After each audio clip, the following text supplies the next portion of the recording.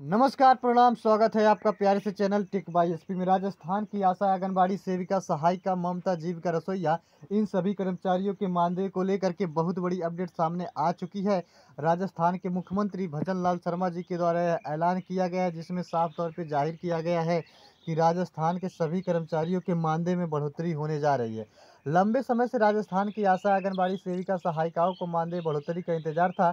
अब उन सभी कर्मचारियों को बिल्कुल परेशान होने की ज़रूरत नहीं है, कहीं भी भटकने की ज़रूरत नहीं है, किसी भी प्रकार का आंदोलन करने की ज़रूरत नहीं है, क्योंकि राजस्थान के मुख्यमंत्री भजन लाल शर्मा जी ने बहुत बड़ा एक्शन लिया है। वीडियो शुरू करने से पहले मेरा छोटा सा रिक्वेस्ट है, अगर आप मेरे चैनल पर अभी तक नए हैं तो चैनल को लाइक और सब्सक्राइब करके बेलाइकन ज़रूर दबाइए। जैसा कि आप सभी कर्मचारियों को मैं बता दूँ राजस्थान के मुख्यमंत्री भजन लाल शर्मा जी के द्वारा आज साफ़ तौर पर आप सभी के मानदेय बढ़ोतरी का ऐलान किया गया है, जिसमें मुख्यमंत्री जी के द्वारा कहा गया है कि राजस्थान की आशा आंगनबाड़ी सेविका सहायिका ममता जीविका रसोईया इन सभी कर्मचारियों को दिया जाएगा चार गुना मानदेय। कितना? चार गुना मानदेय अब आप सभी आशा आंगनबाड़ी सेविका सहायिकाओं को मिलेगा।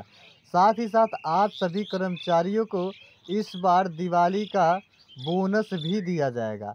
यानी जैसा कि आप सभी को लंबे समय से दिवाली का बोनस भी नहीं मिलता था तो अब राजस्थान सरकार की तरफ़ से आप सभी कर्मचारियों को दिवाली का बोनस भी दिया जाएगा।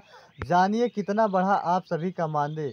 तो आप सभी कर्मचारियों के मानदेय में राजस्थान सरकार ने चार गुना बढ़ोतरी का ऐलान किया गया है, जिसमें यह मानदेय बढ़ाया गया है जो, वह आपके अनुभव के आधार पर बढ़ाया गया है, जिसका जितना अनुभव उसका उतना मानदेय। मुख्यमंत्री जी का कहना है कि सभी कर्मचारियों के मानदेय में अच्छी खासी वृद्धि की जा रही है और दिवाली का जो बोनस देने का निर्णय राजस्थान सरकार ने लिया है, वह 28 अक्टूबर से लेकर के 30 अक्टूबर के बीच सभी कर्मचारियों के खाते में बोनस की राशि भेज दी जाएगी। साथ ही साथ उनका बढ़ा हुआ मानदेय भी दे दिया जाएगा। अब आप लोगों का मानदेय कितना बढ़ा है?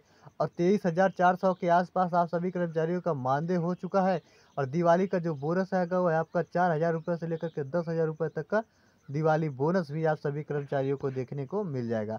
उम्मीद करता हूँ वीडियो पसंद आया होगा। अगर वीडियो पसंद आया हो तो चैनल को लाइक और सब्सक्राइब करके बेलाइकन ज़रूर दबाइएगा। धन्यवाद।